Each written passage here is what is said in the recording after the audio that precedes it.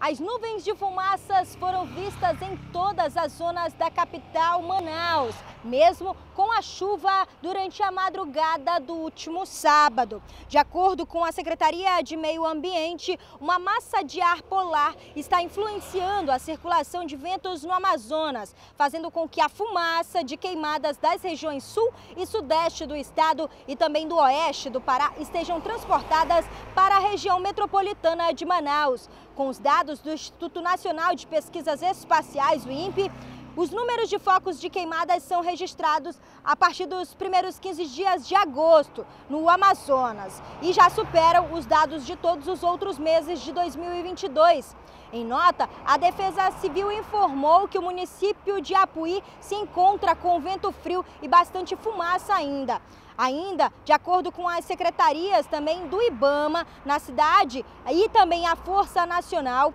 em Novo Aripuanã foi informado que o município se encontra com muita fumaça mais do que nos outros anos. Monicoré informa que o município se encontra com bastante fumaça e vento frio, além de Humaitá, que não tivemos retorno, e Nova Linda do Norte, que informa que a fumaça, junto com o vento frio, permanecem. Durante esta segunda-feira, o tempo aqui na capital amanheceu ensolarado, porém com muitas nuvens no céu o que acaba deixando as pessoas em alerta a respeito das queimadas aqui no estado do Amazonas.